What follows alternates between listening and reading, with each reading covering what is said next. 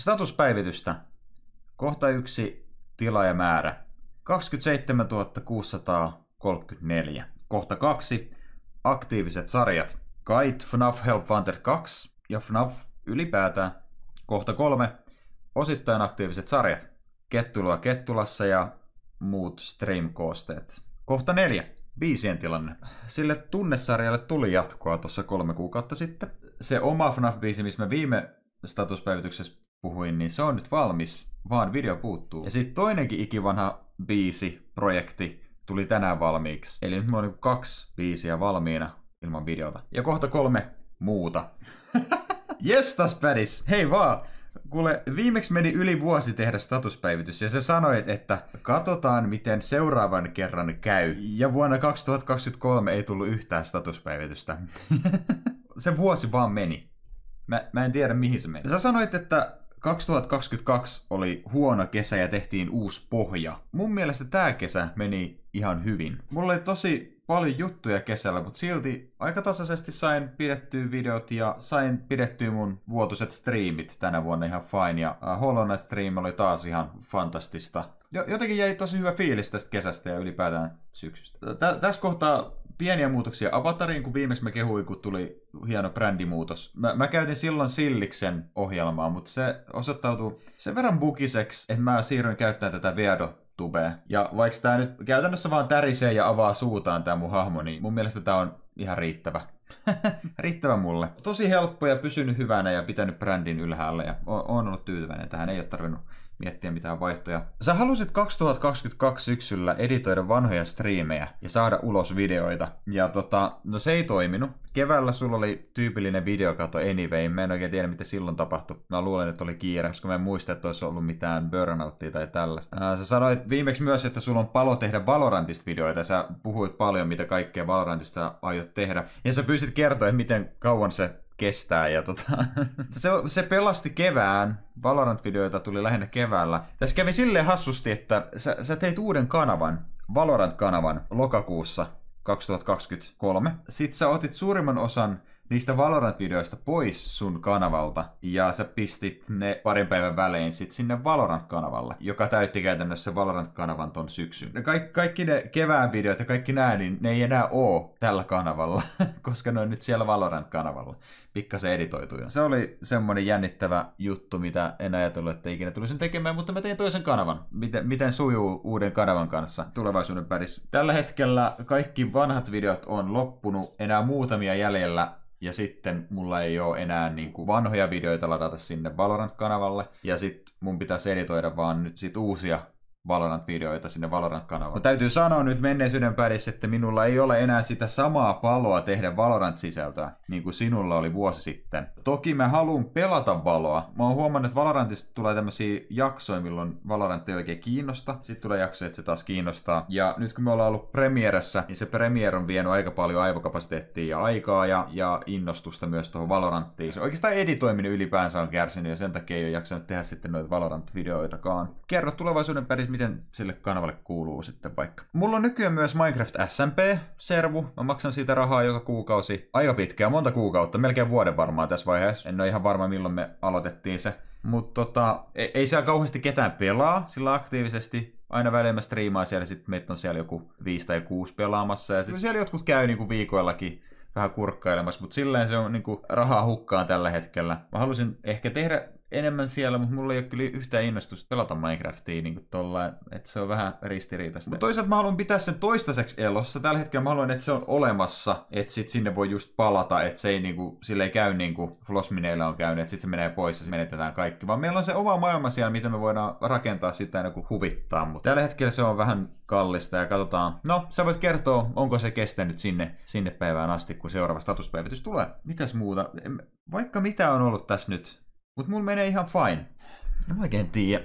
Mä oon huomannut, että YouTube on aika lailla jäänyt pikkuhiljaa hitaasti ja hitaasti enemmän ja enemmän taka-alalle mun elämässäni. Ja ehkä se on ihan hyvä. Toisaalta se vähän pelottaakin jopa mua. YouTube on ollut semmonen addiktio mulle nyt, mitä kymmenen vuotta. Ja tota, se on täyttänyt kaikki tylsät hetket mun elämässäni käytännössä. Kaikki ylimääräiset hetket mun elämässäni, videoiden tekeminen ja sit editoiminen on täyttänyt ne. Ja nyt kun YouTube ja editoiminen alkaa molemmat jäämään niin kuin taka-alalle, niin en mä tiedä, mulla on semmonen omituinen fiilis. Kun mulle jää sit niin kuin muuta aikaa, mulla tulee semmoinen fiilis, että kun mä täytän sen jollain muulla tekemisellä, joka ei tosiaankaan ole mitään järkevää tekemistä, niin mulla jää paljon huonompi fiilis. Mulla jää huono fiilis siitä.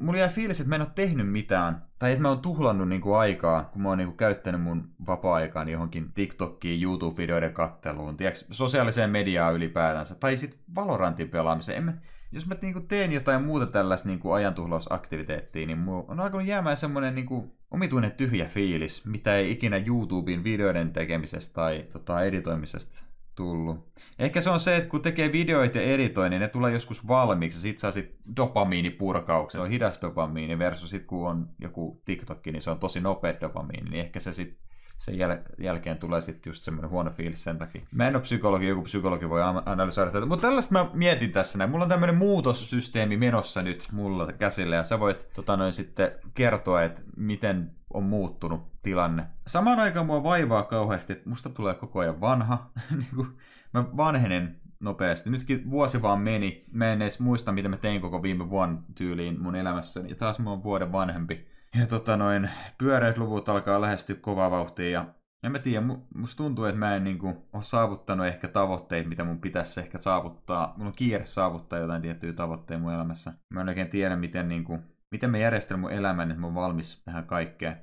Pientä eksistentiaalista kriisiä tähän näin. Mutta se on vaan tuolla taustalla, tieks. Se tulee esiin vain, jos sitä ajattelee. Ja toistaiseksi mä en ole kauheasti ajatellut sitä, mä en ole antanut sillä aikaa.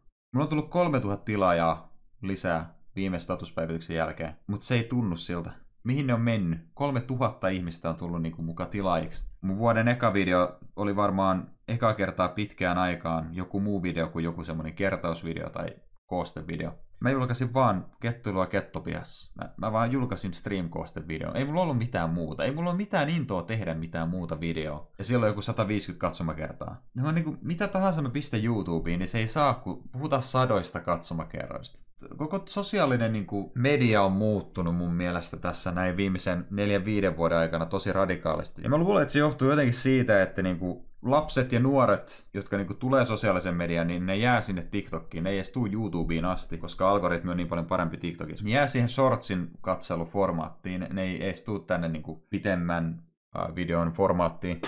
Ja sitten taas vanhat katsojat, minä mukaan lukien, annetaan enemmän ja enemmän aikaa niille lyhyen formaatin alustoille, kuten TikTokilla. Ja jää yhä vähemmän ja vähemmän aikaa katsoa niin kuin YouTubeen. Ja enää ei ole niin kuin alustat sellaisia, että me, me tilataan kontsaa ja sitten me katsotaan tilattua kontsaa. Se, se on niin kuin aika kuollut formaatti. Se on, niin kuin, se on kymmenen vuotta vanha niin kuin ajatus. Nykyään luotetaan algoritmi. Algoritmi tuo niin kuin se uuden kontsan mun silmien eteen. Automaattisesti mun ei tarvitse tehdä mitään. Sen huomaa, että niin kuin valtajoukko alkaa menee algoritmin mukaan. Ei ole enää sellaista, että ollaan uskollisia katsojia. Katsotaan kaikki videot, koska no mä, mä haluan katsoa sinua, minä tilaan sinua, joten minä katson kaikki sinun videosi. Mäkin on ollut siis, mä nyt puhun ihan vaan itsestäni tässä näin. Mä oon ollut semmonen, mä oon alkanut skippaileen joidenkin tota, tubajien videoita. Mä oon alkanut unsubscribeaamaan joitain tubettajia. Mä myös huomaan, että tubettajat alkaa lopettaa YouTubessa, ne alkaa pitää taukoa, ne pistää omiin kanaviin niin panna, että tämä oli tässä näin ja nyt mä siirryn seuraaviin juttuihin. Ja siirrytään just niin kuin e- eri kontsan pariin. Tekee erilaista kontsaa. Ja nyt vähän niin kuin viittauksena 2022 pädikselle, että into tehdä niitä niitä edittejä niistä vanhoista striimeistä, niin mä oon ihan samassa tilanteessa tällä hetkellä. Ja mä haluaisin editoida pois ne striimit. Ehkä semmoisenkin voin sanoa tulevaisuuden pärikselle, jos tota noin vielä aktiivisesti videoita teet silloin, kun seuraava statuspäivitys tulee. Että tota noin, mä, mä oon leikitellyt ajatuksen kanssa, että mitä jos editoin ja rykäsen 50 sata videota noista vanhoista streamkoosteista ja pistän ne automaattisesti tulee YouTubeen ja häviin itse kokonaan sinne videot tulee sinne vaan kanavalle viikko viikon jälkeen, seuraavat kaksi vuotta, ja sinne vaan loppuu. Ja mä en ole käynyt kanavalla kahteen vuoteen. Sillä ei vähän houkuttelee jo tällaiset stuntit. Ihan vaan varoituksen sana teille kaikille, jotka aktiivisesti videoita kattelette ja tämänkin videon katsoitte ja teitä kiinnostaa tällaiset asiat, niin te olette ainakin informoituja nyt sitten. Kaikkea tällaista on pyörinyt mielessä ja nyt kun monena vuonna mä oon just tässä loman aikana editoinut hirveästi Burnoutin partaalle itteni ja sitten on tullut pitkä tauko sit keväällä. Niin voi olla, että niin käy nytkin. Mä tein tänään kaksi biisiä ihan yhtäkkiä kuudessa tunnissa putkeen. Ja tota noin, mä, mä en tiedä mitä tää vapaus antaa seuraavan viikon aikana. Käytäis mä kaiken ajan editointiin ja sen jälkeen kun tulee kiireitä, niin sit mä en tee enää mitään moneen kuukauteen taas. Mutta tulevaisuuden pärissä tässä on nyt monta pähkinää purtavaksi sulle. Ja mä toivon, että sulla menee edelleen hyvin silloin tulevaisuudessa ja oot tehnyt hyviä ratkaisuja ja ehkä jopa joissain väleissä jopa pohtinut, pohtinut näitä syvällisempiäkin ajatuksia. Ja tota, voin niitä sitten kertoilla ja purkaa. Ihan luvan kanssa. Ei kai tässä muuta kuin, että näkemisiin.